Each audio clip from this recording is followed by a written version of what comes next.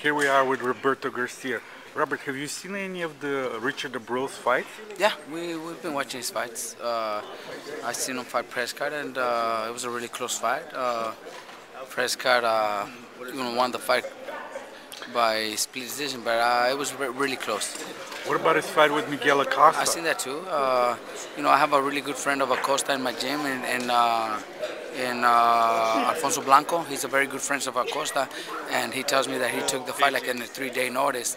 That Acosta took that fight in three-day notice because he was he just needed some money and wasn't really in good shape. Uh, so you know, we didn't really see what uh, what Acosta had. So you know, I'm going I'm going from you know the fight against. Uh, uh, against Acosta, Prescott, you know that's that's the fights that I've been watching, and uh, you know we're gonna we're getting ready for a good fight. What kind of problems do you think Abril presents? To Brandon? Yes.